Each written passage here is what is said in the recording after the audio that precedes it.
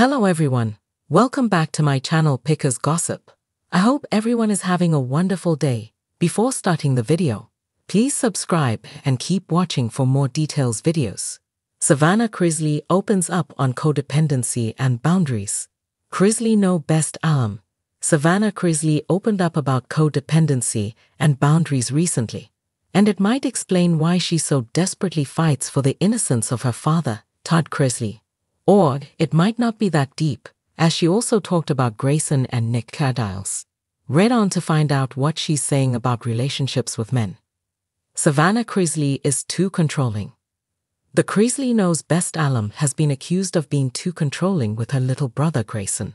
For example, he wants to go to college. However, she is adamant that he will fail and just not try hard. Some fans think she should let him have some responsibility and stop micromanaging him.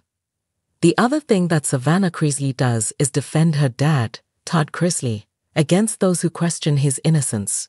He was found guilty in a court of law for fraud and tax-related crimes.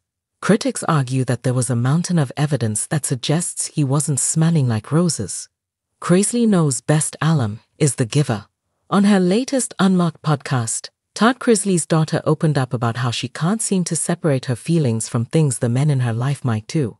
She talked about codependency, a controversial psychological condition identified in the 1980s.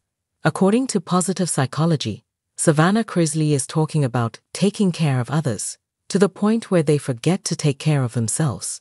This can result in a disturbance of identity development. Additionally, Psychology Today explained that one can enable a loved one's irresponsible or destructive behavior. What did Savannah say? In her podcast, the reality TV star said in part, There's a pattern of painful dependency on compulsive behaviors and approval from others in an attempt to find safety, self worth, and identity. Furthermore, she mentions how she finds that there are no boundaries.